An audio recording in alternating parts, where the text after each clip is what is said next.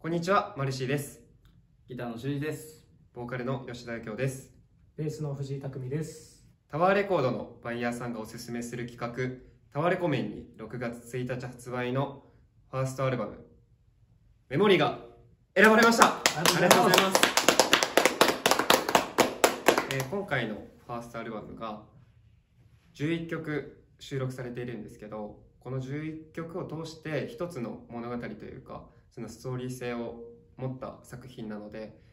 このね順番に聞いていってどういうストーリーがそこの今回の作品に入っているのか、えーぜひねその視点でも楽しんでもらえたらすごく嬉しいなと、えー思っています。はい。そしてこのアルバム「メモリ」を引っ提げて、えー僕たちの初めてとなるツアーを回らせていただきます、え場所が東名阪福4カ所で、え開催させていただきますので、ぜひアルバムを手に取って、えたくさん聴き込んでもらってこのツアーに遊びに来てもらえたら嬉しいなと思います。以上マルシでした。